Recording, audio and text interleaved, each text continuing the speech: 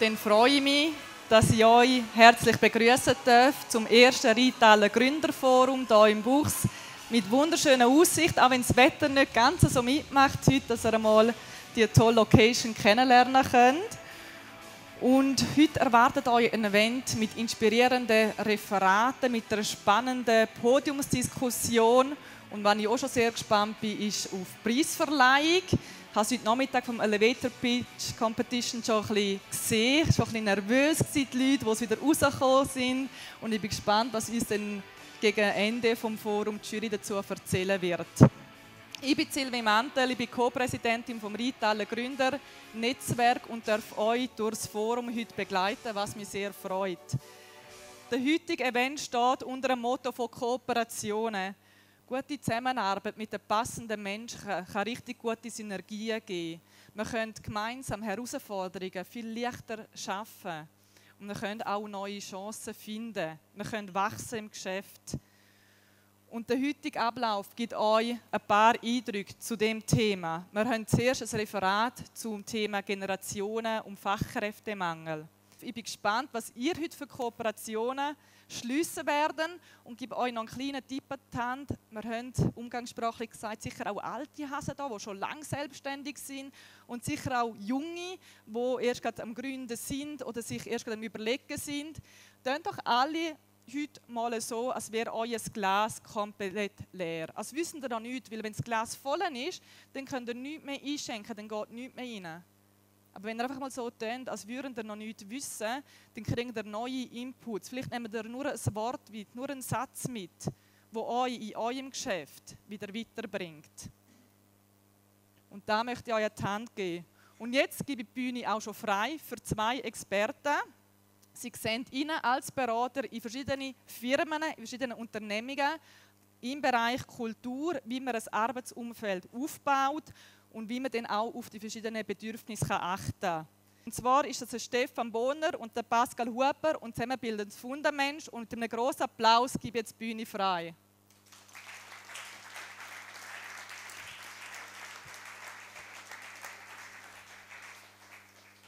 Danke vielmals. Ähm, auch von unserer Seite, also vom Stefan und von mir, ganz ein äh, herzliches Willkommen. Ähm, wir sind auch Gründer, der Stefan und ich. Wir haben Fundament gegründet vor mittlerweile ziemlich genau zwei Jahren. Was wir heute möchten machen, ist, wir möchten äh, rund um das Thema, wie es Silvi schon gesagt hat, Generationen und Fachkräftemangel heute etwas ähm, ja, mitgeben, weil das ist, glaube ganz etwas Entscheidendes, was die Arbeitswelt von heute prägt und wo sowohl Gründer wie allgemein einfach alle Unternehmen im Moment ganz, ganz speziell herausfordert. Ähm, und ja, ihr könnt auch zum Zug nachher schon, wir machen das auch ein bisschen interaktiv. Ihr könnt alle mal euer Smartphone vornehmen und dann tut der Stefan hier so einen QR-Code einblenden, wo ihr einfach mal scannen dürft. Also, erste Frage. Ähm, wie stark nehmt ihr denn überhaupt den Fachkräftemangel wahr in dem Arbeitsumfeld, wo ihr seid? Das einfach mal so als Einstieg. Eins würde bedeuten so gar nicht, wir merken nichts. Sieben extrem beschäftigt euch täglich.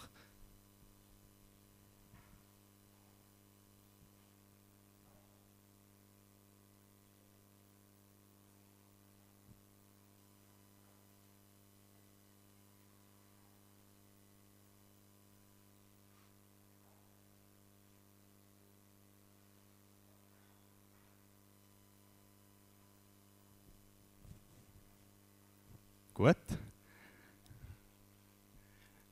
Also, ähm, wir sehen, das ist ziemlich durchmischt, aber insgesamt kann man glaube wirklich sagen, das Thema Fachkräftemangel, das spielt heute ganz eine große Rolle. Wir alle spüren das im Alltag und äh, ja, das einfach mal so als Einstiegsfrage, wie das, dass ihr das wahrnehmt. Ich würde jetzt einfach mal weitergehen zur nächsten Frage. Und da nimmt uns wirklich jetzt einmal Wunder so als Einstieg, bevor wir starten, wie nehmen ihr den Fachkräftemangel wahr? Also welche Probleme glauben ihr bringt das vor allem mit sich? Also, was wir ganz sicher viel lesen, ist so ein das Qualitätsproblem. Oder? Man fängt an, gerade als äh, Unternehmer, man muss anfangen, Leute ähm, rekrutieren, die man vielleicht nicht, sonst nicht unbedingt würde einstellen würde. Die Qualität leidet natürlich, ähm, man ist ja, unter Druck. Genau, auch ganz spannend finde ich den Punkt Krankheitsausfälle. Oder? Die Leute, die wir haben, die müssen noch mehr leisten. Das setzt natürlich unter Druck, das ist ein Teufelskreis. Genau. Gut. Das einfach auch mal so ein bisschen als Inspiration. Stefan, darfst du zur nächsten Frage. Gut, und das finde ich auch spannend. Ich wundere, was ihr dazu sagen. Okay, wir wissen alle, es gibt den Fachkräftemangel. Was glauben wir, werden wir den irgendwie lösen und vor allem wenn?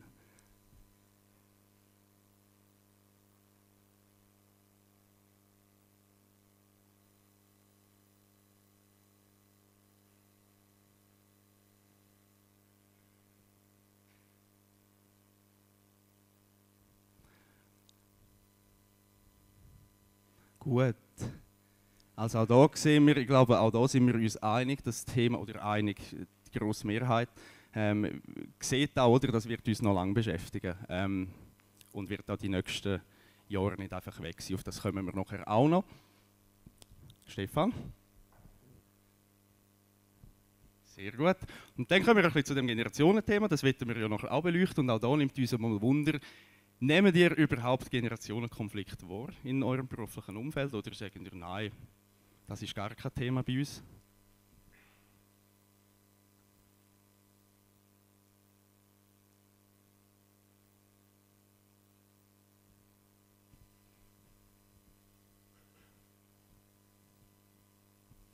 Gut, also auch hier sehen wir, ähm, die grosse Mehrheit beantwortet das mit Ja. Also da sehen wir, irgendwie kommt das Thema auf uns zu mit den Generationen, mit neuen Wertvorstellungen, die wir auch lösen müssen als Unternehmen. Dann haben wir die zweitletzte Frage, haben es bald geschafft. Wie machen sich die Generationenkonflikte bemerkbar? Was sind da vielleicht Schlagwörter, wo wir sagen, okay, anhand von dem merke ich das?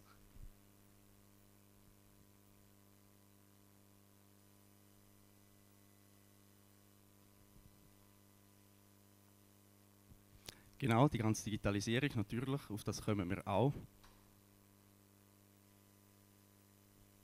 Verschiedene Werte, wo Unverständnis auslösen. Sprachliche Themen. Auch spannend, das Thema Teilzeit. Also da, ich glaube, wir sehen relativ schnell, das sind ganz, ganz komplexe Themen, ganz viele verschiedene Themen. Ähm, auch das lassen wir jetzt einfach mal so stehen. Und dann die letzte Frage, eigentlich für uns fast die spannendste. Welche Frage wollten ihr beantwortet haben? Heute, jetzt, mit dem, was der Stefan und ich euch hier erzählen.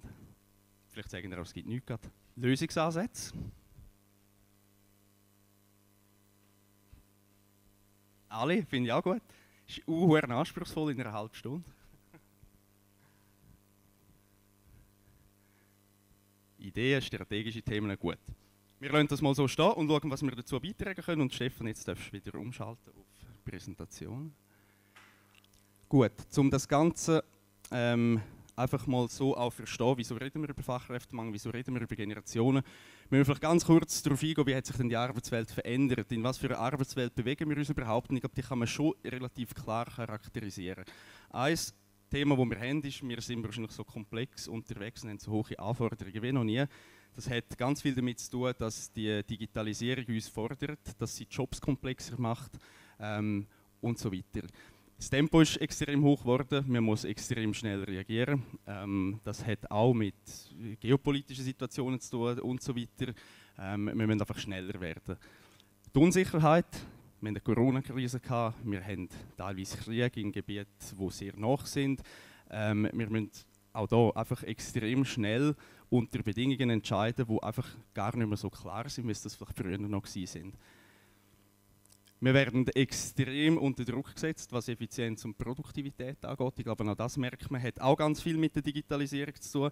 Konkurrenz ist heute eben nicht einfach nur noch der Laden aus dem Nachbarsdorf, sondern durch Digitalisierung kann ich eigentlich alles auch irgendwo aus dem asiatischen Raum, aus Amerika und so weiter einkaufen. Und wir haben das ganz große Thema, dass wir einfach zu wenig Leute haben. Und das ist so ein bisschen die heutige Arbeitswelt und wir haben eigentlich einmal so eine Folie für uns erstellt, wo wir das ein bisschen ähm, ja, für uns zusammenfassen und wie das Ganze wirkt. Und heute möchten wir vor allem auf zwei Themen eingehen, die wir auf der rechten Seite sehen. Weil ich aber produktiver geworden, das ist man schon immer. Also mit dem haben sich Unternehmen schon immer auseinandergesetzt ähm, und wie sie Effizienzsteigerung anbringen. Was aber das erste Mal so ist, durch das es der Mensch halt wirklich die knappe Ressource wird und wir den Fachkräftemangel haben, müssen wir uns halt aufs Mal auch viel mehr mit dieser Generation auseinandersetzen und wir müssen uns als Unternehmen überlegen, wie können wir auch attraktiver werden. Das heißt, die Digitalisierung, die jetzt kommt, ist eben neu, nicht mehr einfach nur dazu da, zum effizienter werden, produktiver, sondern sie ist aufs Mal dafür da, dass Unternehmen sich überlegen wie werden die auch attraktiver. Und darum möchten wir auf diese Themen eingehen. Ähm, Arbeits- und Fachkräftemangel und Generation und euch heute da einfach mal ein paar Punkte mitgeben. Wenn man den Fachkräftemangel verstehen dann denke ich, ist die Folie, die halt einfach ganz am Anfang steht und die auch für viele von euch nicht sehr neu ist. Das ist die demografische Pyramide, die wir haben in der Schweiz. Und wir haben einfach einmal oben eingerammt ähm, im roten Rechteck die 15 Jahrgänge, die in den nächsten 15 Jahren ins Pensionsalter können. Und unten die 15 Jahrgänge, die jetzt in die Berufswelt einsteigen. Und man sieht, wir haben einfach nur schon mal zu wenig Leute, rein von der demografischen Struktur. Ähm, und das setzt uns natürlich extrem unter Druck, weil, ja, weil die Leute halt einfach fehlen. Und jetzt kann man sagen, ja gut, es gibt ja noch das Ausland, es gibt auch noch Migrationsthemen und so. Klar, aber man muss davon ausgehen, auch in unseren Nachbarländern sieht das nicht groß anders aus. Also das müssen wir uns da einfach bewusst sein. Das heisst, wir haben das Problem, es sind einfach schon zu wenig Leute da, die in den Arbeitsmarkt eintreten. Und dann hört man ja häufig, ja gut, das ist jetzt im Moment so, das geht vorbei und das ist auch eine der Einstiegsfragen gewesen, bis wann haben wir denn das Problem? Und das zeigt die Folie auf. Ihr seht, wo wir stehen im 2023. Ähm, ich weiß nicht, ob das dort tut. Nein, das tut so nicht. Aber ihr seht es ja selber. Wir stehen im Moment bei einem ja, Reproduktionsfaktor von etwa 0,7. Das heißt, pro 10, die in Pension gehen, können sie noch. Das Ganze wird sich bis im 2030 noch verschlimmern, bis auf etwa 0,6 aber Und auch die Erholung, die nachher stattfindet, ist nicht wahnsinnig optimistisch stimmend. Das heißt, das Problem wird uns ganz sicher noch die nächsten 12, 15 Jahre beschäftigen. Und das müssen wir uns einfach bewusst sein. Und eigentlich, wenn man auch das anschaut, kann man ja sagen, so gut wie die Situation heute ist, gut in Anführungs- und Schlusszeichen, wird sie die nächsten 10 Jahre nie mehr sein.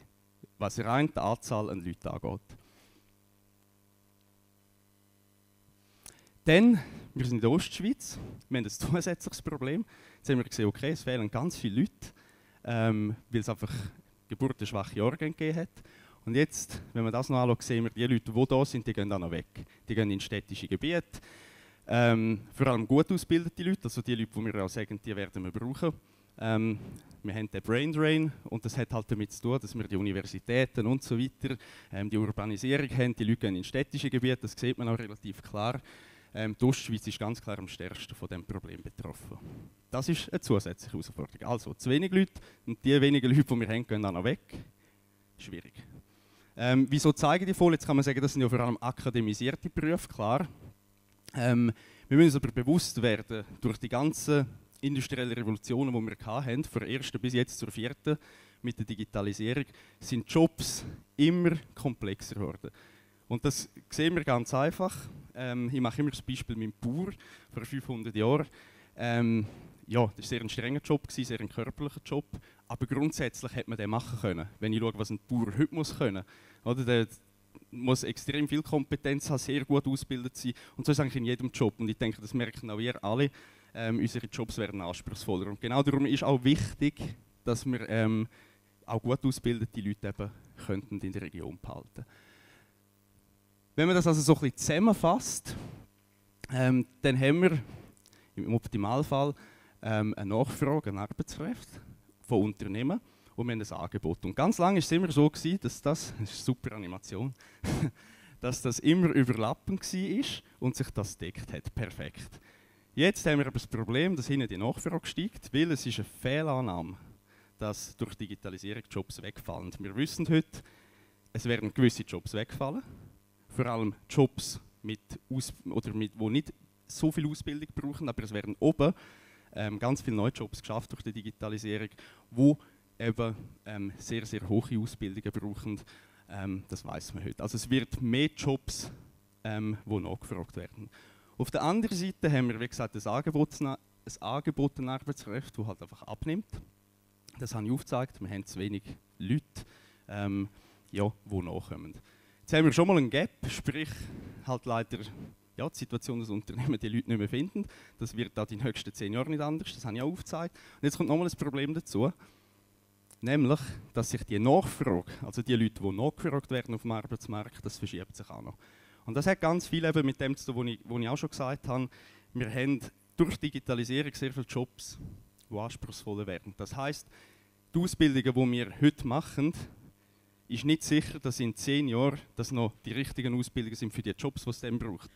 Und äh, das wird eine riesige Herausforderung für Unternehmen werden und auch für neue Unternehmen, dass man die Leute heute kann anfangen ausbilden ähm, und das wird man müssen machen, dass die dann auch in zehn Jahren richtig qualifiziert sind für die Jobs. Und das wird eine zusätzliche Herausforderung. Und wenn man jetzt schaut, wie groß die Schnittmenge eben noch ist, dann sehen wir, dass auf der einen Seite ganz, ganz viele Leute keinen Job mehr könnten haben, weil sie nicht mehr die richtigen Qualifikationen mitbringen. Und auf der anderen Seite wird es ganz viele Jobs geben, wo eigentlich Unternehmen gerne besetzen würden, wo aber die Leute fehlen. Und das ist also betriebswirtschaftlich und volkswirtschaftlich ein Problem. Und das ist einmal so ein bisschen der Input jetzt von uns zu dem ganzen Thema Fachkräftemangel. Ähm, ja, weil wir mit dem einfach auch aufzeigen das wird eines der ganz zentralen Probleme werden für Unternehmen in Zukunft. Und jetzt, glaube ich, ah nein, ich habe noch eine Folie. ähm, das ist auch ganz spannend. Der Fachkräftemangel der wird gemessen in Zahlen jedes Jahr ähm, von der Volkswirtschaftlichen Beratung Basel. Und was man hier auch sieht, ist die Entwicklung seit dem Jahr 2010. Ähm, wenn der Index 100 ist, heißt das, die Situation hat sich nicht verschlechtert seit 2010.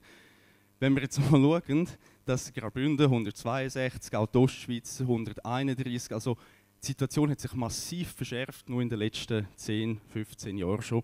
Ähm, und wir haben gesehen, wo wir stehen, es wird also noch mal schlimmer werden. Einfach um das auch noch in Zahlen belegen ähm, und zusammenfassen, was ich hier erzählt habe. Gut, das ist eines der Themen von uns und der Stefan wird jetzt übernehmen für den zweiten Teil der Fachkräftemangel, wo der Pascal da gerade sehr eindrücklich aufgezeigt hat, warum der so ist, ähm, wie der zustande kommt, der ist auch eigentlich einer der Hauptgründe, warum das Thema Generationen und Wert aktuell so fest thematisiert wird und warum man überhaupt über das redet, oder? Weil es ist ja klar, ähm, wenn man zu wenig Leute hat, muss man ja schauen, dass man die Neuen, die Jungen mit dem Bord kriegt. Gleichzeitig ähm, ist es aber dann auch wichtig, dass man die Alten nicht vergisst und genau auf das müssen wir jetzt ein bisschen eingehen weil das ist ein Thema, das beschäftigt. Oder? Das ist ein Thema, wir hören es momentan viel, wir lesen viel davon in den Medien. Ähm, man liest sehr wenig Sachliches darüber. Einerseits gibt es Generation Z, wo sich sehr viel zutraut, wo sehr mutig auftritt, wo sehr selbstbewusst auftritt und logischerweise stoßen sie mit dem vielleicht auch erfahreneren, älteren Leuten ein bisschen vor den Kopf und die denken dann vielleicht auch, ja, ähm, dass, dass man vielleicht mit 20, 25 noch nicht ganz alles kann. Und das sind wirklich meistens ähm, Diskussionen, die sehr emotional geführt werden. Und wir wollen das jetzt ein bisschen objektiver angehen, ein aufzeigen, was denn mit den Generationen genau so ist und ja, was für Fakten uns da ähm, auch noch begleiten. Also, die Ausgangslage ist die, wir haben aktuell vier Generationen im Arbeitsmarkt und wir haben hier die Verteilung mitgebracht und wenn man mal die Säulen anschaut, sieht man recht schnell, dass ziemlich genau die Hälfte der Leute, die heute im Arbeitsmarkt tätig ist, von den beiden älteren Generationen, also der Babyboomer und der Generation X ist und die andere Hälfte von den beiden jüngeren Generationen, also Y und Z. Und das heißt ja eigentlich, dass wir alle vier Generationen brauchen, oder? Dass die eigentlich alle sehr stark vertreten sind. Und wenn wir ähm, nachher Maßnahmen haben, wo wir nur auf eine Generation Z ausrichten, dann vergessen wir natürlich irgendwie die Alten. Und wenn wir immer nur beim, bei dem bleiben, was wir immer schon so gemacht haben, dann holen wir den Jungen nicht ab. Und das Schöne daran ist ja, die Generation Z, die fordert eigentlich sehr viel ein, ist sehr selbstbewusst, gerade auch in Bezug auf Flexibilisierung und so weiter. Aber die Ansätze, die häufig eben von ihnen gefördert, gefordert werden, aber nicht nur, sind ja auch für Leute jeglichen Alters eigentlich sehr spannend. Und darum ist es wichtig, dass man eben den Dialog sucht und irgendwie die Transformation auch schafft ähm, und unter Einbindung von allen vier Generationen. Weil das ist sicher für alle sinnvoll. Aber jetzt äh, wollen wir mal noch ein bisschen bei diesen vier Generationen in die Tiefe gehen. Einfach, aus dem einfachen Grund, dass man das ein bisschen versteht, oder? Wir müssen uns auch mal, vielleicht auch wir Jungen, auch mal vor Augen führen, was ältere Leute schon alles erlebt haben, wie die aufgewachsen sind, wie die geprägt worden sind. Andererseits ist für Alte eben auch extrem spannend zu hören, ähm, ja, wie vielleicht Junge aufgewachsen sind, wenn man das selber mitkriegt. Aber wenn man einfach so mal die, die Vergleich vor Augen führt, ist das häufig schon recht spannend und coole Basis für einen Dialog. Wenn wir einfach mal schauen, die vier Generationen im Detail, ähm, wenn wir sich mal überlegen, was geschichtlich noch schon gegangen ist, seit der Zeit, wo die Babyboomer eigentlich aufgewachsen sind, oder? Die haben den Kalten Krieg aus nächster Nähe erlebt, oder? Ähm, viele, je nachdem, wo man aufgewachsen ist, haben auch ähm, wirklich so noch ein bisschen die Nachwirkungen vom Zweiten Weltkrieg mitgekriegt und nachher so die ganzen Wirtschaftswunder, oder? Man hat eigentlich den ganzen Aufschwung mitgemacht. Für Generation X und Y war das schon ein bisschen normaler. Gewesen. Ähm, ist grundsätzlich eigentlich immer bergauf gegangen, es war gut. Gewesen. Ähm, es ist vielleicht mit dem Urfall und so weiter dann auch, ist, haben wir sehr viel Gründe gehabt, zum optimistisch zu sein. Und irgendwie dann im Gegensatz dazu hat Generation Z dann auf einmal wieder so einen Kontrast erlebt, dass man halt trotz dem Urfall, trotz der Globalisierung und so weiter wieder in eine andere Richtung geht, mit ähm, geopolitischen Konflikten, mit einer Erderwärmung. Das heißt, es sind eigentlich auf einmal wieder sehr viele Herausforderungen, die die Generation erlebt, wo sie vielleicht das Gefühl hat, dass wir irgendwie lösen oder? Und das sind eigentlich sehr unterschiedliche, ähm, unterschiedliche Umfelder zum Aufwachsen. Das kann man natürlich in allen Feldern ein durchziehen. Oder? In der Technik ist es so, dass sehr viel gegangen ist seitdem. Auch kulturell, oder? während man bei den Babyboomer vielleicht sind sehr viele von ihnen auch in einer heilen Welt, in einer heilen Familienwelt aufgewachsen, mit ähm, Vater, Mutter, die zusammengeblieben sind, ein paar Geschwister. Und das hat sich dann laufend verändert, oder? Ähm, es hat vielleicht einen zugenommen eine Zunahme gegeben Entscheidungen. Ähm, Leute sind allein aufgewachsen, Leute sind allein daheim gewesen, viel mehr auf sich allein gestellt gewesen. Vielleicht einmal allein heimgekommen, das sind dann eben die Schlüsselkinder. Ähm, das ist dazu gegangen, dass das Kind eigentlich immer mehr ins Zentrum gestellt worden ist, oder? Bis, bis wir jetzt von diesen, äh, diesen Helikoptereltern reden, die sehr stark um ihre Kinder schauen, wo, wo die sehr stark auch bemuttern oder bevattern. Und das ist eigentlich auch nochmal etwas sehr anderes. Oder wenn wir denken, wie man da aufgewachsen ist, das erklärt ja dann auch, dass man vielleicht gewisse ähm, andere Werte, andere Ziele hat. Das ist vielleicht auch noch wichtig zu sagen, das ist natürlich nicht verallgemeinernd, aber es kann sehr häufig eine Erklärung sein. Das heißt ja nicht, dass alle von Generation Z genau gleich sind, es sind auch nicht alle Babyboomer genau gleich, aber häufig ist eine spannende Diskussionsgrundlage und so eine Erklärung für gewisse Sachen oder auch für gewisse Verhaltensweisen glaube, allzu fest in die Tiefe müssen wir auch nicht mehr. Es war sicher auch so gewesen, ähm, dass sich das dann auch auf das Arbeitsleben ausgewirkt hat, oder? Das heißt, während dem vielleicht Babyboomer noch sehr auf die Kontinuität gesetzt haben, auf die Sicherheit, auf die Karriere im, Job, äh, die Karriere im gleichen Unternehmen, ähm, auch auf das Eigenheim, wo man sich vielleicht angespart hat, wirklich auf die Sicherheit, Kontinuität, ist es dann, ähm, ja, bisschen, bisschen, hat sich das auch ein bisschen verändert wieder indem dass dann, wenn in Generation X auf einmal so ein die, die Bindungen aus Unternehmen wegfallen ist, dass man hauptsächlich Karriere hat machen ähm, in der Generation Y ist dann so Freiheit, Flexibilität wichtiger geworden und lustigerweise hat es in der Generation Z, eben, das ist recht unterschiedlich, aber häufig denkt man ja, die wollen alles und Flexibilität und, und keine Grenzen. Aber irgendwie ist dann dort auch noch auf einmal wieder eine Sicherheit, ähm, für dich kommt oder und in dem Umfeld, wo von der Unsicherheit prägt ist. Genau. Was wir natürlich auch nicht vergessen dürfen, ist so ein bisschen die Digitalisierung. Oder wenn man sich das mal fragen für, wir haben das erlebt mit Corona, ähm, hat es bei vielen Unternehmen vom einen Tag auf den anderen geheißen, jetzt gehen ihr ins Homeoffice, da habt ihr euren Laptop. Und wenn man sich mal überlegt, wie das, das ist natürlich überhaupt nicht für alle so, aber ähm, wenn es mal um das Verständnis geht, ist es natürlich so, dass für Teile, die ohne irgendwelche technische Hilfsmittel aufgewachsen sind, die in ihrer Jugend gar nichts so hatten, dass es für die ganz ein anderes Erleben ist, als, als für Leute, die zum Beispiel mit einem Smartphone, mit einem Smartphone aufgewachsen sind, wo völlig klar ist, dass alles jederzeit in der Cloud ist. Oder es sind schon mal ganz andere Voraussetzungen. Das ist einfach etwas, wo man sich auch bewusst sein muss. Ich denke, das immer, wenn ich meinen Papa am Smartphone gesehen der hat es immer noch nicht wirklich gelernt.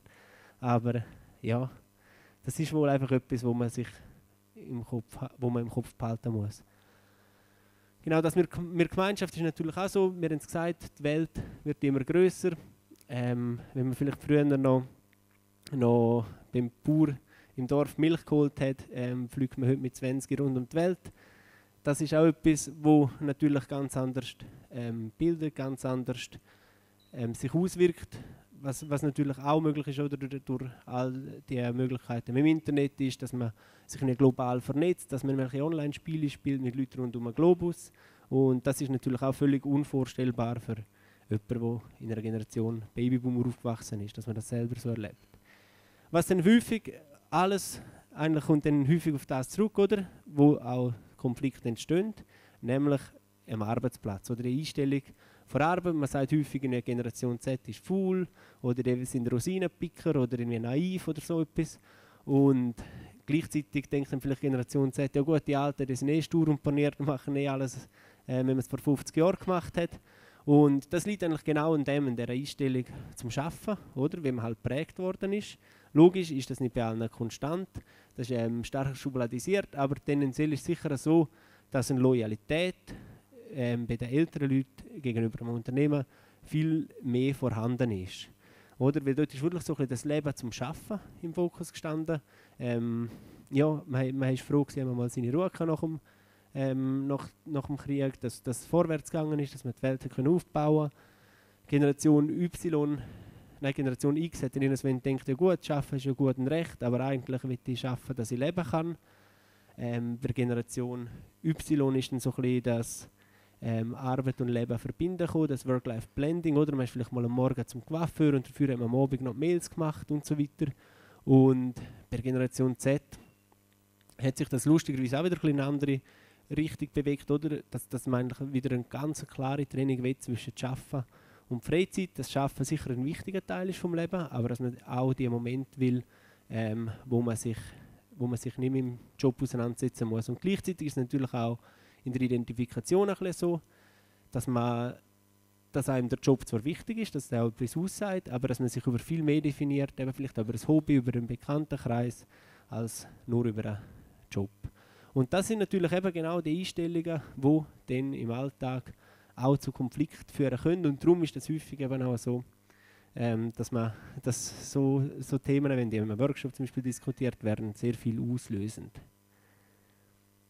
Genau, was heißt jetzt das alles? Oder? Wir haben etwas über den Fachkräftemangel gehört, wir haben etwas ähm, über, über Generationen gehört und das ist ja gut und recht, aber wichtig ist, ähm, was man jetzt damit anfängt, oder? Wie, wie gehen wir jetzt weiter? Und da müssen wir euch leider enttäuschen, es gibt, wir haben leider keine Patentlösung dabei, aber es sind ganz sicher die richtigen Themen, die wir euch jetzt aufgezeigt haben, wo man sich damit auseinandersetzen muss. Aber ähm, wenn, wir, wenn wir auch wirklich eine Patentlösung hätten, wären wir jetzt wahrscheinlich immer so in der Ferien und nicht da um, um Zeug erzählen. Weil es, am Schluss ist, fängt die Arbeit halt wirklich bei jedem und jeder selber an und der Weg muss jeder und jeder selber gehen, aber wir haben da so die möglichen Ansätze, wo Unternehmen, vielleicht auch junge Unternehmen, die einen Vorteil haben durch das, oder, weil sie noch jung und flexibel sind und alles neu gestalten können, wo, ähm, ja, wo die mitnehmen können. Genau wichtig ist sicher, dass man gerade als etabliertes Unternehmen gewisse Prozesse auch neu denkt, dass man sich überlegt, ja gut, wenn wir von Flexibilisierung reden, was heißt das jetzt, oder? Weil häufig kann man ja nur flexibilisieren, wenn man, sich, wenn man seine Arbeit neu einteilt. Gerade eben zum Beispiel bei Berufen, wo, wo eine Präsenz, äh, Präsenz nötig ist. Dort muss man sich natürlich ganz viel Gedanken machen. Gut, wie plane ich meine Arbeitsschritte? Ist es jetzt wirklich nötig, ähm, dass der Prozessschritt A von morgen um 8 bis um 9 Uhr gemacht wird? Oder kann man den vielleicht am Nachmittag machen? Ähm, das ist einfach ganz wichtig, weil häufig denkt man bei Flexibilisierung, ja gut, das geht nicht, weil wir haben den und den brauchen wir jemanden. Aber so der zweite Schritt, dass man über Prozesse neu äh, nachdenken muss, der fehlt häufig. Was auch ganz wichtig ist, dass man eben wirklich weiterkommen kann. Und das ist auch für junge Unternehmen extrem wichtig, dass man sich Gedanken macht über die Kultur. Wie gehen wir miteinander um? Ähm, wie schaffen wir in dem Umfeld? Und was ist uns wichtig? Oder wie wollen wir den Arbeitsalltag gestalten? Und das ist etwas, wo wir ganz häufig in größeren Unternehmen unterstreichen wollen, einfach aus einem einfachen Grund. Häufig sagt man, ähm, da muss etwas kommen vom Management, da muss etwas kommen von irgendjemandem, dass wir die Kultur herkriegen, dass wir einen Schritt in die neue Arbeitswelt machen. Aber jede und jeder, der seinen Arbeitstag selber gestaltet, weiß, dass er oder sie auch einen gewissen Einfluss hat auf das, ähm, wie, wie die Arbeit gelebt wird. Und gerade Führungspersonen haben da noch viel größeren Einfluss. Und darum ist die Auseinandersetzung mit der eigenen Rolle und mit sich selber auch extrem wichtig. Und das ist auch etwas, was jeder von heute auf morgen machen kann. Und das ist vielleicht noch ein bisschen das, was der Pascal am Anfang gesagt hat, oder durch den Fachkräftemangel, durch den Arbeitskräftemangel ist es ganz wichtig, dass man anfängt, und das ist vielleicht auch noch schwierig, wenn man das lange nicht gemacht hat, dass man anfängt, den Fokus auf die Mitarbeitenden zu legen. Oder dass man merkt, hey, die Mitarbeitenden, die sind eigentlich das Gut, was am Schluss meinen Erfolg ausmacht. Und es ist weniger, immer weniger in meinem Absatz, was kann ich verkaufen, sondern es ist viel mehr, was kann ich produzieren, was kann ich liefern. Und darum werden die Mitarbeitenden immer wichtiger. Und das alles kommt natürlich nicht von selber, oder? Niemand geht von allein in die neue Arbeitswelt. Darum ist es extrem wichtig, dass man eben auch die nötigen Ressourcen hat für, Info für Innovationen. Genau, das wäre es mal von Seite von Pascal und von mir.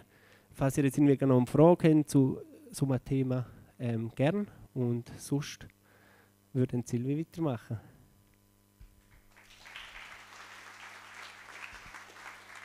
Und dann machen wir weiter mit der Podiumsdiskussion. Und zwar geht es jetzt darum, dass wir das Zusammenspiel, Kooperationen von Wirtschaft und von Politik anschauen. Und was politische Entscheid, also das wissen wir alle, dass politische Entscheid einen direkten Einfluss haben auf unser Unternehmertum. Also was wir wollen erwirtschaften, was wir für Möglichkeiten haben mit dem Geschäft, hat vielfach auch einen Einfluss, wie in der Politik auch entschieden wird. Und jetzt wollen wir ein bisschen wie können Brücken gebaut werden zwischen Politik und Wirtschaft, wo bestehen bereits Brücken und führen die Diskussion den Mario Schneider. Er ist Co-Präsident vom Retailer Gründernetzwerk und auch der Organisator vom heutigen Event. Also dank ihm sind wir auch heute hier. Und als Gast haben wir die Ehre, dass wir den Rolf Pfeiffer bei uns haben. Er ist der neue Stadtpräsident von Buchs, ehemaliger Präsident von Wirtschaft Buchs und ja, bringt Erfahrungen mit von beiden Seiten, Wirtschaft und Politik. Und darum gebe ich jetzt die Bühne frei und freue mich auf die Diskussion. Wie siehst du den aktuellen Stand der Zusammenarbeit zwischen der Politik und der Wirtschaft in der Region allgemein gesehen? Ja, zuerst einmal heute miteinander schön sind wir hier zu Buchs bei uns. Also vom Wetter her ist überhaupt kein Problem für mich, weil ihr seht hier aus dieser Location aus äh, einer der schönsten Flecken mit unseren Nachbarn zusammen natürlich, wo wir in der Region haben. Ihr seht aber auch hier mit draussen, wo wir gerade jetzt sind, die Industrie, also der, der Puls quasi. Viele Kunden auch von euch oder respektive umgekehrt, ihr vielleicht auch Kunden sind äh, von der ganzen Sache. Der Mario hat es so schön gesagt am Anfang, äh, bringst Erfahrung mit von beidem. Will da jetzt wirklich nicht bluffen. Ich bin seit dem 1. März in der Funktion als Stadtpräsident. Ich habe nirgends das Buch können auftreiben, wie, äh, wie werde ich Stadtpräsident oder was macht man da so. Das ist am 1. März losgegangen und täglich wachsender Erfahrungsschatz. Der Vorteil von beidem, muss ich sagen, ist eigentlich, dass ich über 20 Jahre lang selbstständig war sehr viele Mitarbeiter auch dürfen führen, eine Firma hat dürfen aufbauen mit meinen zwei Partnern. Und da hat es jetzt vieles darunter, wo ich einfach so greifen kann. Und da ist ja für mich klar, wie wir es machen. Oder? Und jetzt äh, von dem Punkt weg, wo man sagen, ist klar. Und nachher dann Politik, Verwaltung und alles losgeht, ist dann mal, oh, da muss man nochmal eine Kurve machen, da muss man nochmal rundum fahren, oh, da braucht es noch einen Beschluss und und und. Und das ist manchmal vielleicht jetzt gerade in dieser Schnittstelle die grösste äh, Herausforderung. Zusammenarbeit grundsätzlich mit der Wirtschaft ist für mich als Person relativ einfach. Eben, wie ihr schon gehört habt, ich durfte in meinem früheren Leben, sage ich jetzt, unter anderem auch Gewerbepräsident sein, auch äh, sehr innovativ über die ganze Region hier dran gewesen. und da ist es natürlich einfach mit dem Netzwerk, das ich mir da aufbauen konnte. Darum bin ich heute da, weil wir uns ja. nämlich dort auch schon kennengelernt haben und ich habe Mario da mal können überzeugen, dass er unbedingt Wirtschaft Berufsmitglied muss werden, weil das nämlich wichtig ist, wenn er im kleinen Gewerbeverein dabei ist, dann machst du gleich irgendwann weitere Schritte und ich glaube, das erlebst du jetzt täglich auch und das, das genau, passiert ja. auch so. Oder? Das, ist, das ist wichtig und das macht mir von der neuen Funktion her jetzt viele Türen offen, wo ich schnell rein kann und ah, Patrick Äh, der Generalagent von der Mobiliar, für mich überhaupt kein Thema, oder? Weiss ja, nur schnell mit ihm reden, komm, da könnten wir so machen. Funktioniert. Äh, ganz ein lustiges Beispiel. Ich habe unter anderem neben 100 anderen Kommissionen auch einen Einsitz in der Baukommission. Und da sind alle am Tisch gekommen und haben gesagt, ja, äh, jetzt haben wir mit allen geredet an dieser Straße, wie wir das Konzept umsetzen wollen, außer mit dem Herr XY nicht. Boah, könnten der überhaupt Deutsch werden, oder? Und dann habe ich dann so entspannt dort sitzen und können sagen, sollen wir jetzt gerade anrufen oder soll ich noch warten, bis wir fertig sind? Und da habe ich eigentlich nachher ganz etwas Gutes können, äh, zusammenbringen dass wir Leute, die haben müssen Entscheidungen treffen mussten, wo man Umsetzungen noch vorantreiben, sei es jetzt aus der Verwaltung aus, aus dem Rathaus aus oder einfach von Amtsstellen her, mit dieser Person können zusammenbringen, schnell können erklären, um was es geht. Und vorgestern habe ich so nebenbei die Rückmeldung bekommen, dass der Herr XY sehr beeindruckt ist vom Auftritt von der Stadt, von der Kompetenz, aber auch vom Vorschlag, den wir machen, den wir bringen und dann wieder mit ihm zusammen. Und so funktioniert es und das habe ich eigentlich auch mitgenommen von den zwei Vorrednern von vorher, dass mit dem Verständnis schaffen, das ist glaube ich schon wichtig. Und zwar die Z-Generation, wo zum Beispiel gerade meine zwei Kinder hinten sind, wo äh, ähnliches Verhalten an den Tag legen, wie da aufgezeigt worden ist. Und dann die äh, X-Generation, wo ich anscheinend dahinter bin, habe ich festgestellt, äh, ja, dass man halt eben vielleicht einmal retour gehen und unsere Knöpfe mal kann schnell vor Augen führen Nicht besser wissend, sondern fair, aufzeigend und, und im anständigen Umgang äh, kann vorführen und sagen, hey, wieso ist es denn so? Wieso tickt denn mein Papa so? Wieso äh, meine Mama? Wieso funktioniert das? Mein Götti. Habe ich nie gesehen, der macht nur immer das und das, oder? Und die andere Seite dann aber wieder retour kommt und sagt, du bist ja nie um, du hast ja, oder? Und das Verständnis, ich glaube, wenn wir das herbringen, auch retour zu reflektieren, nicht jetzt nur die Z-Generation weil ich frage mich immer, was nach dem Z noch kommt, also der nächste Buchstabe, weil es sollte ja, geht hoffentlich weiter. Alpha. Gut, geht weiter, gut, ja. Glück gehabt. Ja, das bringt es dann nachher im Zusammenspiel. Gut, dann kommen wir noch zur nächsten Frage. Welche Kooperationen zu lokalen Partnern sind wichtig und äh, allgemein wie wichtig ist das für die Stadt, um Kooperationen eingehen mit sei es kleinen Unternehmen oder auch größeren? Ja, ich weiß nicht, ob äh, Kooperationen in dem Fall das richtige Wort ist es ist natürlich immer die Herausforderung, äh, wir vergehen auch Arbeit, sehr viel. Also wir haben Infrastrukturbauten, wir haben Unterhaltsarbeiten, die gemacht werden. Es, kann, es ist halt so, nur ein von diesen Unternehmern den Zuschlag bekommen. Äh, vielmal sagt man auch, ja, es kriegt ja nur der günstigste. Äh, das stimmt, wobei ich jetzt auch schon feststellen gerade in diesen Verfahren hin, man tut nicht nur auf den Preis schauen, wir schauen mittlerweile hat die Firma, kann die das überhaupt? Äh, haben sie gewisse Referenzen dazu? Also haben sie schon mal irgendetwas gemacht in dieser Form? Was haben sie für eine Größe? Äh, und vor allem, äh, ich natürlich als Stadtpräsident schaue natürlich zuerst, auch, ja, wo sind denn die überhaupt daheim? Kann man es überhaupt da lösen? Auf unserem Platz kann man auch nicht alles.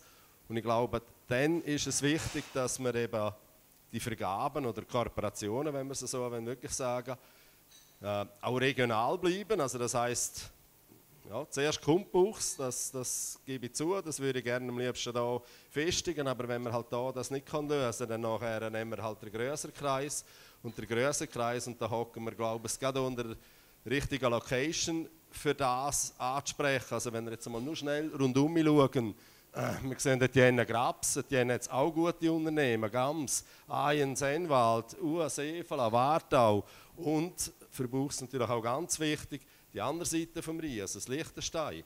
Und das ist irgendwo dann nicht nur Buchs und das da, sondern es ist nachher alles, glaube ich, ein bisschen über den Tellerrand rausgeschaut. Und das ist einfach da in meinen Augen sehr, sehr wichtig, dass man, dass man das Bewusstsein schärfen kann, dass es halt äh, Daumen an gute Leute hat und es ist einmal irgendwann der Satz noch gefallen, ja, zum schauen, dass man dann die Fachkräfte in der Region kann halten kann. Das ist relativ einfach.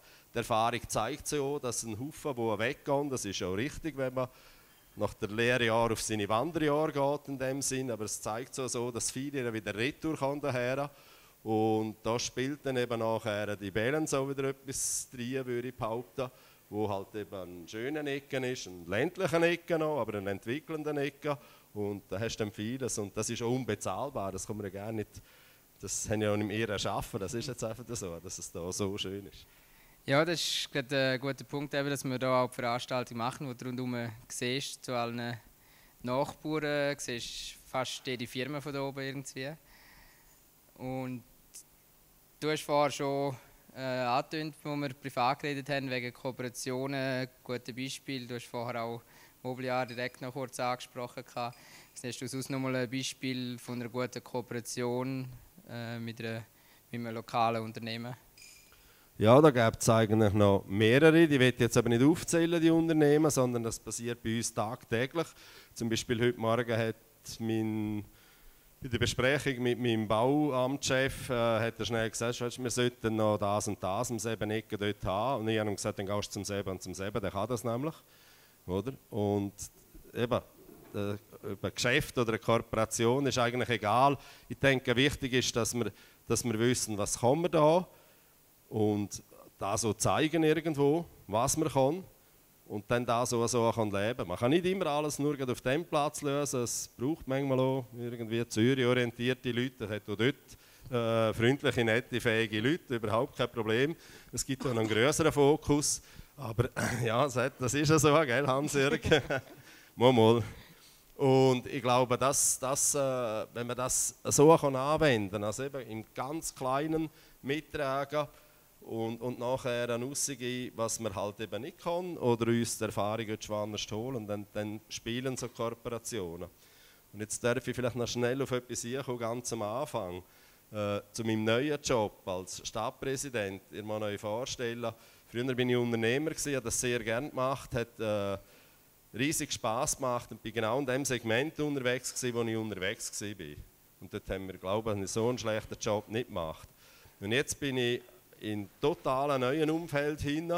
Macht riesig Spaß, super Team äh, zur Seite.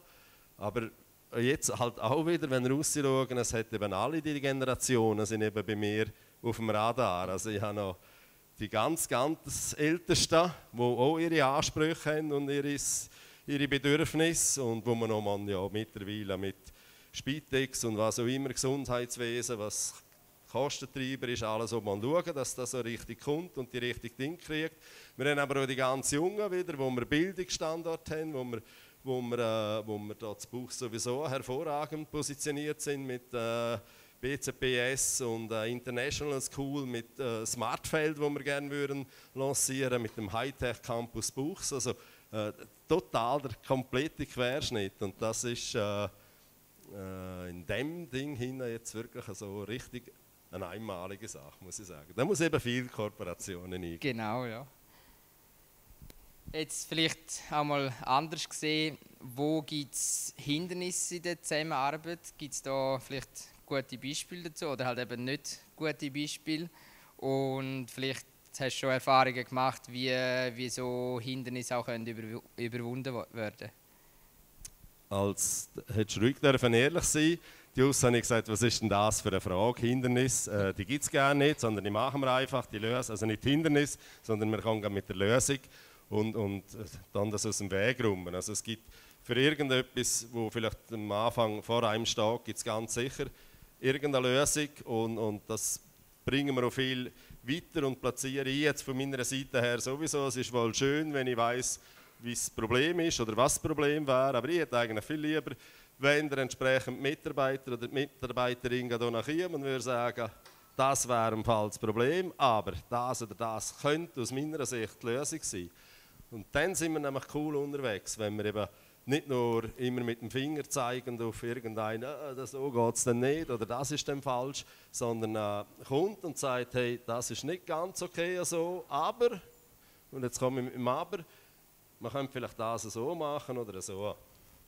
Und dann stehen wir natürlich ab und zu wieder an einer anderen Ecke an, wo, äh, ja, geht dann noch immer äh, um, einen- um einen Stutz und drumherum. Also kann man es realisieren, kann man es machen, muss man wieder abwägen. Die eine Bürgerschaft ist dafür, die andere ist dagegen. Es gibt dann auch die Abstimmungen. Äh, das ist aber auch gut, dass es so Abstimmungen gibt, weil ich glaube, in all den Ländern, wo uns vorgeführt wird, wo wir nicht dürfen Demokratie leben, wie es wir kennen, ja, ist das Leben auch nicht ganz so lustig. Darum haben wir mir da recht eine hohe Flughöhe. Ja, da geht es uns eigentlich auch gut, dass wir gut mitreden können. Es ist nicht überall in den anderen Ländern auch gleich. Ähm, wie können wir als Gründer, das sind jetzt sehr viele junge Gründer, auch äh, bestehende Unternehmen schon dabei, wie können wir als Gründer an politische Entscheidungen beitragen und gibt es da Plattformen dafür, wo man sich beteiligen kann? Also zum Beitragen ist es recht einfach gesagt. Jeder von uns hat äh, die Freiheit, dass er wählen darf. Und wenn er nicht wählen kann, dann muss er einfach das annehmen, was nachher auch dabei rauskommt. Und ich weiß, ich bin jetzt auch nicht äh, in jungen Jahren auch nicht der absolute Wahlgänger von dem her. Und gleich hat es wieder eine Abstimmung gegeben, wenn ich jetzt zurückdenke an EWR, äh, hat man müssen abstimmen ein schweizweit bekannter Politiker hat dann da recht mehr Bekanntheit errungen. Äh, es hat auch andere Gruppierungen gegeben. Also wenn er nicht auf Deut also einfach gesagt, wenn er nicht von dem Recht Gebrauch machen, zum wählen gehen, dann sind er ganz einfach selber schuld. Und das ist eigentlich schon mal der erste Beitrag, den man dazu kann, äh, mitbringen kann. Dann ist es so, dass äh, heute ist natürlich die ganze Digitalisierung vorangeschritten. Wir zum Beispiel in der Stadt Buchs haben äh, die E-Mitwirkung. Das heißt, wenn wir, wenn wir dann noch Projekt oder äh, Sachgeschäft auflegen lassen, wo man kann, äh, Einsprachen machen oder wo man kann die Meinung abgeben kann, kann man auf die E-Plattform gehen und kann dort eigentlich recht einfach einschreiben, was einem nicht passt. Dann kommt das äh, an einer zentralen Stelle zusammen, wird dort nicht ausgewertet und auch nicht irgendwo kategorisiert oder küblisiert, sondern äh, es wird ernsthaft angeschaut und man bemüht sich dann auch, eigentlich entsprechende Antworten zurückzugeben. Logischerweise, äh, nicht jeder wird die richtige Antwort bekommen, die er gerade am liebsten würde hören aber man hat immerhin die Möglichkeit, um das einfach zu platzieren und gerade mit dieser E-Mitwirkung, äh, glaube ich, sind wir richtig unterwegs, dass man mit wenigen Worten kann beitragen kann und eben da auch wieder auf, aus etwas von vorher quasi eben auch mit dem Lösungsansatz kommen und nicht nur immer wieder, oh, das ist ein Projekt, das gefällt mir gar nicht. Ja, gerne nicht, äh, nützt mir jetzt wenig, oder? Wird das schon viel genutzt oder eher noch zu wenig? Das wird äh, mittlerweile sehr viel genutzt, überraschenderweise äh, von der Generation, jetzt hätte ich wieder müssen zurückschauen, also gerne an die vor mir, äh, ja genau, Babyboomers, die haben nämlich äh, nicht nur Zeit, um sich mit dem auseinanderzusetzen, sondern sie bringen natürlich auch den Rucksack mit. Und das ist dann wieder das Coole daran, mit der äh, jahrelangen Erfahrung, die sie da äh, in ihrem Leben gemacht haben, in ihrem Arbeitsleben, in dem Ding da, wo kannst du umdrücken, wo das es geht, was ist jetzt wieder los? Oder einfach die, die Weg, um das mitzugehen, äh, das ist cool, wenn sich so Leute einbringen, oder? Aber es ist natürlich auch da für, für die Jungen und, und wir merken das so, dass es so jüngere äh, Mitbürgerinnen und Mitbürger hat, die einfach ihren Kommentar platzieren oder ihr Anliegen und dann nachher kann man das so auch anschauen zur selben Sache und das ist in meinen Augen einfach nur fair und gut. Dann kommen wir noch zur nächsten Frage. Gibt es Treffen oder Veranstaltungen, wo so Austausch stattfindet? Ich meine, da haben wir jetzt in dem Sinne einen Austausch einfach überall allgemein, aber gibt es da konkrete Beispiele? Ja, ist für mich relativ einfach. Eben als ehemaliger Wirtschaftsbuchspräsident äh, bin ich natürlich auch mit meiner Nachfolgerin, der Silvia, die da vorne auch äh, Einsitz hat, äh, rege im Austausch. Wir haben früher immer so ein Wirtschaftsnüne haben wir dem Ding gesagt, mit meinem Vorgänger zusammen. Der haben wir jetzt schnell ausgesetzt, äh, einfach aus äh, Grund von der Aktualität von der Amtsübernahme. Also ich hätte jetzt gerade auch nicht gewusst, wo ich das noch einordnen soll. Aber wir haben gerade heute Abend eigentlich schon im Vorfeld abgemacht, dass wir hier ganz sicher noch für die Mitglieder für unseren Gewerbevereinen so ein Wirtschaftsnüne wieder machen. wo ich aber eigentlich anders gestalten will, als er bis da anhin oder bis anhin daher gekommen ist, wo ich jetzt eigentlich wirklich äh, explizit ein bisschen in die Wirtschaft eintauchen. Also wir hier auf dem Platz Buchs machen das, das weiß ich. Haben auch Einsitz in der äh, Region Sarganserland Werdenberg und auch dort sind wir mittlerweile stark an Projekten dran, wo wir mit der Wirtschaft wirklich konkret zusammen, aktuelles Beispiel, wir probieren da ein Smartfeld aufzubauen auf dem Platz Buchs, wo nicht nur für Buchs ist, sondern für, für die ganze Region, für das ganze drumherum. Und, und da musst du eigentlich die mit der Wirtschaft treffen. Also ich habe zum Beispiel am Mittwoch, nein, am Freitagnachmittag darf ich ein äh, grosses Unternehmen hier im Buchs äh, besuchen. Per Zufall kenne ich den Chef dort schon lang, aber der Austausch ist extrem wichtig und das muss A, im Kleinen funktionieren, bei uns, aber nachher und in einem größeren Rahmen hin, also wo es mehr Leute hat und äh, eines von diesen Treffen ist ja heute auch da. Genau, da merkt man auch wieder, wie wichtig das Netzwerk ist. Denn kommen wir passend zu der Frage, welche Rolle spielen so Vereine wie zum Beispiel eben Wirtschaft Buchs oder unser Vereinsrheintal der Gründernetzwerk erstens für die Wirtschaft in der Region und zweitens, wie sieht das aus aus der Sicht der Politik? Also grundsätzlich wichtig sind sie, ist jeder Verein, ob er jetzt wirtschaftlich oder kulturell organisiert ist, ist nicht einmal so matchentscheidend, sondern wichtig ist ja, dass man, dass man zusammenkommt und miteinander an den Tisch hockt und Projekte äh, probiert zu stemmen oder anzustoßen, äh, Ideen umzusetzen. Also das ist, das ist sicher etwas Wichtiges. Ich glaube, das Allerwichtigste, und jetzt auch, ihr seid ja eher noch ein jüngerer Verein, wenn ich das so, so angeschaut genau. habe, ist, dass die Idee nicht, puh, ja, nächstes Jahr, oh nein, das war langweilig das letzte Mal, dann hat der Stadtpräsident ein bisschen gequatscht mit ihm und nachher hat es nicht einmal einen gescheiten Abbruch und so. Sondern nein, es muss so sein, dass es eben weiterfliegt und weiterfliegt und, und je länger dass man zu dem Baby jetzt in dem Sinn, wo ein bisschen Acht gibt und aufpasst, äh, dann nachher entsteht da irgendwann immer mehr und mehr und ich habe das wirklich live miterleben, auch im Aufbau von Wirtschaft Buchs.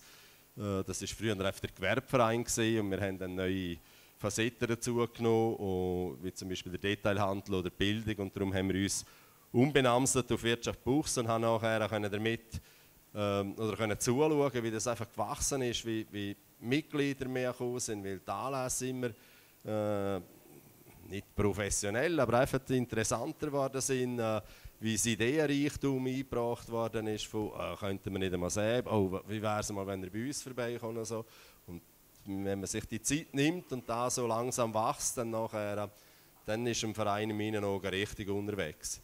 Für die Politik, von derselben Seite her, ist es einfach cool, wenn du bei dir in der Stadt oder in der Gemeinde hin genau weißt, aha, ich kann dort und dort anrufen und dann kann ich vieles schon platzieren oder es ist deponiert und es gibt so Vereinigungen. Ich weiß, es ist nicht jeder äh, Gewerbeverein vielleicht äh, gleich äh, stark immer aufgestellt oder es ist auch nicht immer so attraktiv, um dort Mitglied zu sein. Aber grundsätzlich, äh, wenn man so schwer hat, von der einen Seite vom Tisch, dann tut man sich einfach dringend und weiß, es, es kommt, das matcht dann schon. Super, danke schön. Dann noch eine persönliche Frage. Was willst du gerne den Teilnehmern vom Gründerforum mitgeben? Gibt es da etwas, was du gerne noch würdest loswerden? Ja, in der Corona-Zeit wäre es einfach gewesen, dann einfach gesagt, hätte ich gesagt, bleiben gesund, oder? Also das wird ich euch sowieso mitgeben, weitergeben. Bleiben noch gesund, behalten die Energie. Also ich weiß nicht, wer von euch da jetzt wirklich gerade erst neu angefangen hat oder so, aber äh, bleiben dran. Ich kann es einfach aus meiner Zeit sagen. Äh, je länger sie dran sind, und es gibt ja auch die goldigen Seiten und dann gibt es ab und zu mal eine Seite, die vielleicht weniger schön ist oder einen Augenblick die braucht so, das bringt Erfahrung nachher, das schärft eigentlich auch das Bauchgefühl vor allem und, und äh, der Weitblick für anderes. Und wenn ihr an eure Sachen und an euer Talent glauben und auch vielleicht an das Talent von euren Mitarbeiterinnen und Mitarbeitern, dann ist vieles schon richtig gemacht und alles andere kommt sowieso, aber es kommt sicher gut. Ergibt sich dann auch, ja. Jetzt wir haben nicht mehr allzu viel Zeit. Jetzt vielleicht gibt es noch eine wichtige Frage aus dem Publikum, wenn jemand noch ein dringendes Anliegen hat, kann Sie es gerne jetzt noch schnell stellen. Hat gerade irgendjemand noch eine Frage an den Stadtpräsident, kann ich jetzt sagen? Also über Steuerfüße darf man da nicht diskutieren, das ist... Ja, dann glaube ich, ist im Moment nichts, sonst könnt ihr dann vielleicht in Suseswo noch treffen. Äh, Immer gern, die Tür ist offen, Genau. also nicht nur für, äh, für die Bürgerschaft, sondern auch natürlich für die Arbeitgeber, aber auch für Arbeitnehmer. Also, äh, und das glaube ich, muss man auch haben. Der Austausch ist auch wichtig, dass man, dass man äh, das Zeug kann deponieren kann, das einem vielleicht auf dem Magen liegt oder, oder das Anliegen. Und dann ja, wird nicht immer alles gelöst werden, aber äh, einiges. ja. Dann danke vielmals. Dann übergebe ich das Wort wieder der Silvi.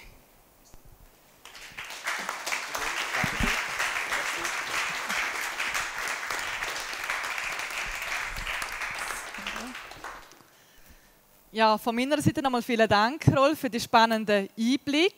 Ich habe mir hier auch ein, zwei Punkte aus, ähm, aufgeschrieben, die mir gerade rausgestochen sind. Das eine ist ähm, Lösungen bringen. Ich bin ja, habe ja auch noch Teilzeitjobs und mein einen Chef, also wo ich hauptsächlich angestellt bin, übrigens in der BZPS, hast du ja auch erwähnt. Er sagt auch immer, kommen nicht mit Problemen, mit Herausforderungen, sondern bringen die Lösung mit, dass wir dort gerade ansetzen können. Finde ich sehr wichtig. Und das andere, was ich rausgespürt habe, rausgehört habe, ist, dass du sehr viel Kontakt aus deinem bisherigen Unternehmertum mitbringst, was dir jetzt als Stadtpräsident sehr viel hilft. Und auch da sehen wir wieder, wie wertvoll das ist, zum Kontakt aufbauen, zum Netzwerk aufbauen. Und wir nie wissen, wenn wir durch irgendeinen Weg irgendeine Person kennen, in welchem Zusammenhang kann uns der Kontakt wieder einmal etwas dienen.